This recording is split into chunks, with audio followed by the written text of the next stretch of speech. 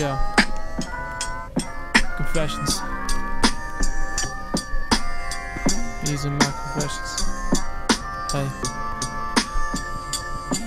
Part one. Yeah. No way back, spend way too much time to go and do that. Sweat, blood, and tears. Outdid all of my peers, conquered my fears, and now I'm here. Not in it for the fame or the monetary gain, but for a higher purpose. Well, the money will make it worth it. Financial freedom. Give my parents the life they deserved. They worked hard for me and my sister. Mom stayed home and raised us, while Pops was out grinding, being a breadwinner. 56 still doing the same shit.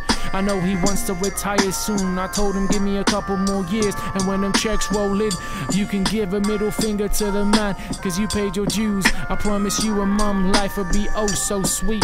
Please believe, I know this isn't the route you wanted for me, but I gotta be a man, make my own decisions. Plus, God's watching over me, me with this vision.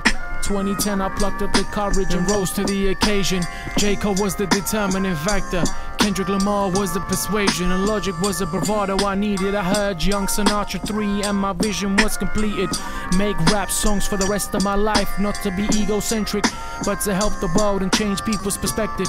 Let them know they can be whatever they wanna be. So, my brother, just because you're brown doesn't mean you gotta do business or IT. Yeah, you gotta respect your parents, but you gotta make your own decision for that inner peace. Those people that tell you you can't, tried, but they failed to achieve their dreams. Not because they weren't capable, they let that negativity consume that hope for a better life. I see it every day. They settle for average, and now they sit around the office discussing their baggage instead of taking positive steps that's gonna help them manage. Oh well, that's either here or there. I gotta focus on myself, play these cards I've been dealt. Impenetrable poker face. You might think I'm losing, but I'm still in this race. Not on that Usain bullshit, but on that Mo Farah pace.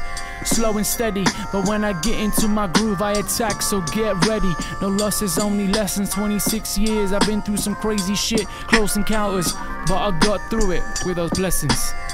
Confessions.